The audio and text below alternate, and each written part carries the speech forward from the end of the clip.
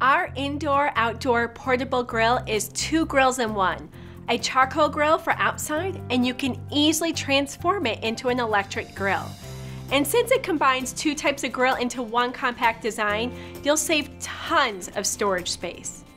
It's great for people who live in apartments and smaller homes, and for times you want to take your grill to go, like for a picnic or tailgating.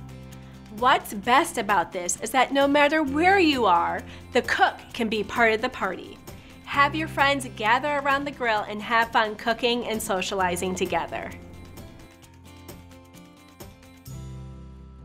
Let's set it up for charcoal use first. We're gonna put the drip tray in to catch grease. It rests right in the tracks on the bottom of the grill, and you'll need it in place anytime you're grilling. Before we go outside, we'll place the charcoal tray in the bottom of the grill.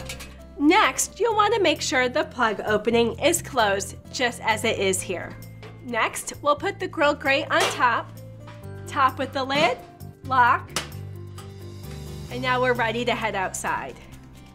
Now we'll take off the grill grate and put charcoal briquettes onto the tray in a pyramid shape. This will help heat the charcoal. Leave it uncovered for about 20 to 30 minutes or until the coals are covered with a light gray ash.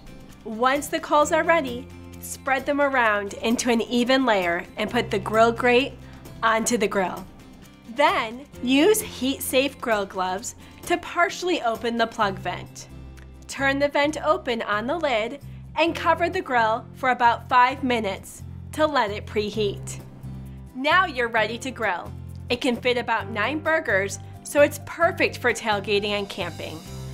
Once you're done grilling, let it cool completely, then safely dispose of the charcoal and grease before you move or transport the grill.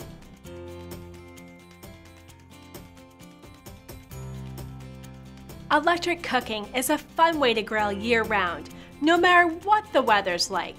In this mode, the grill can be used inside or outside. To set it up, we'll make sure the charcoal tray and drip tray are clean and in place. To insert the electric heating element, the plug vent must be open. We want to make sure it rests on this notch.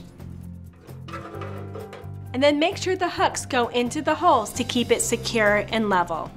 Once the heating element is in place, we'll attach the plug and then add the grill grate. For proper fit, it's very important that these bums are over the hooks. Once it's set up, plug it in and turn the knob to the right temperature. The light will go on and off.